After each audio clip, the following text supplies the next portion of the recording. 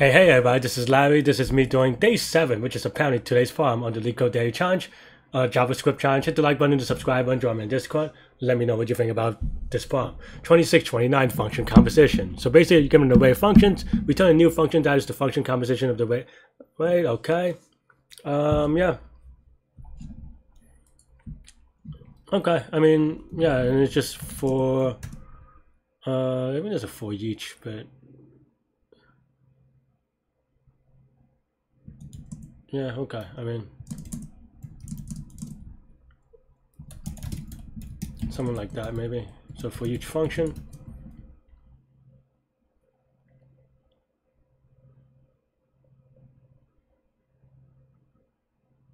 um, the function buy of x, right?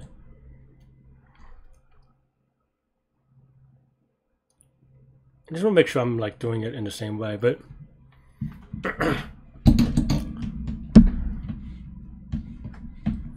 Yeah, okay. I think that's it, really. Um, it's kind of I I I'm so you may ask why I'm uh kind of kind of why I'm hesitating is because basically I, I am trying to think like what is the uh, maybe I did it the other way around.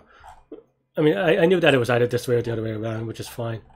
Um, oh, this should be X. Whoops, that's why. Could still be the other way around. Okay. Uh, yeah, from right to left. Okay, yeah, that's fine. So the, the reason why I'm hesitating is just because I am curious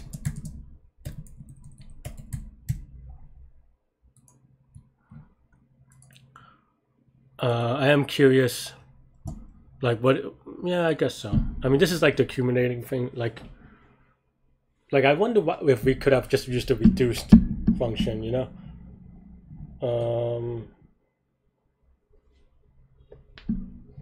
like you could just call arrays that reduced or whatever. But anyway, it's fine. I mean, yeah, that's all I have with this one. Let me know what you think. Stay good, stay healthy, to good mental health. I'll see y'all later. Take care. Bye bye.